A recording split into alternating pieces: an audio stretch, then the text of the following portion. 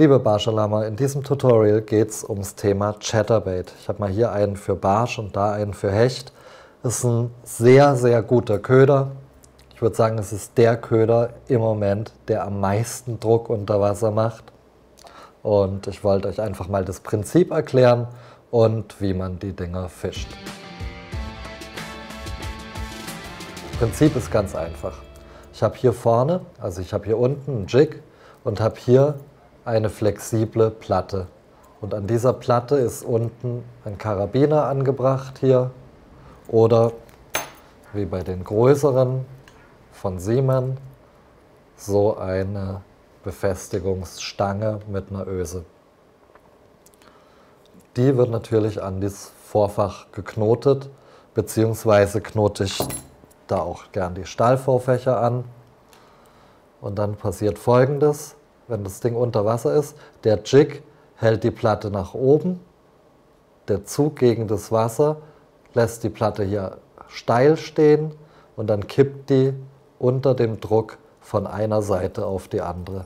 Das erzeugt unheimliche Vibrationen, den seht ihr an der Rutenspitze, den spürt man auch extrem und zusätzlich zum Druck flasht halt dieses oder blitzt dieses, dieses Blatt, das hier silbern ist, blitzt halt auf.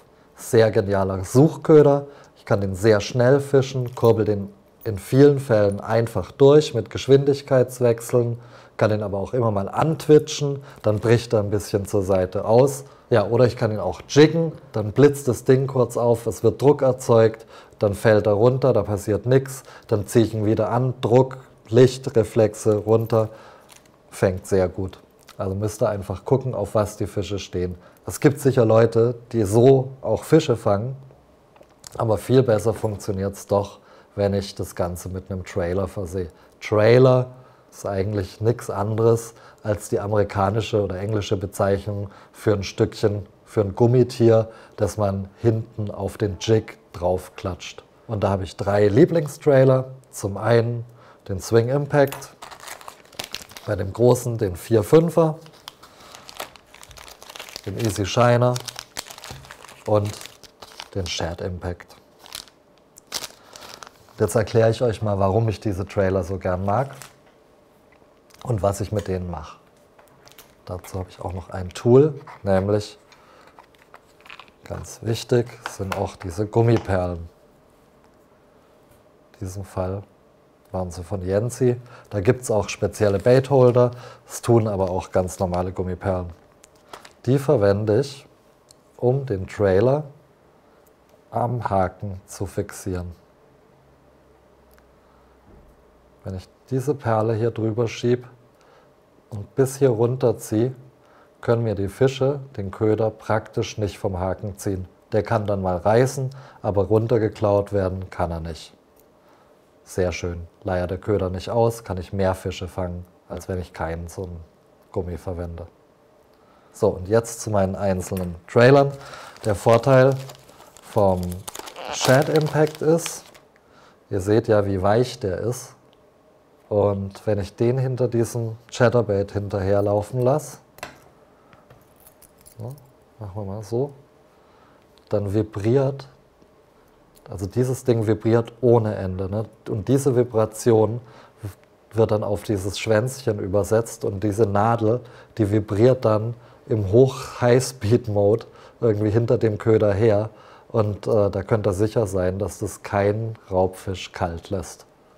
Also das hier ist die hochenergetische Trailer-Variante. Etwas träger ist der Lauf von einem Swing Impact. Aber erst dann, wenn ich, und das, den Tipp habe ich von Amerikanern, und es sieht dann unter Wasser auch unheimlich gut aus, ich muss einfach diesen Schaufelschwanz in einen Hammerschwanz umfunktionieren. Und dazu schneide ich entlang der Schwanzwurzel, nämlich mache ich da einen Schnitt, so, Schau mal, was da übrig geblieben ist, begradige das noch ein bisschen. Immer gut, wenn die Sachen symmetrisch sind.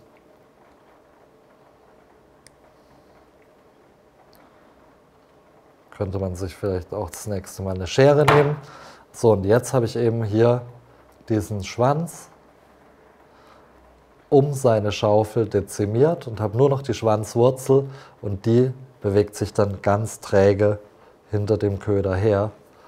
Und äh, ja, das funktioniert wunderbar. Und selbiges mache ich mit dem Easy Shiner. Der ist dann ein bisschen schlanker, hat aber das gleiche Profil. In meinen Augen nimmt sich's nicht viel, der nimmt, bewegt sich halt ein bisschen durch die, die schlanke Form noch ein bisschen hektischer. Aber auch da, wie gesagt, die Schaufel weg. Jo, und dann könnt ihr die Dinger, wie gesagt, durchdrehen, jiggen, twitchen, absinken lassen. Sehr variabler Köder. Für mich der Spinner der Neuzeit. Nur noch fängiger.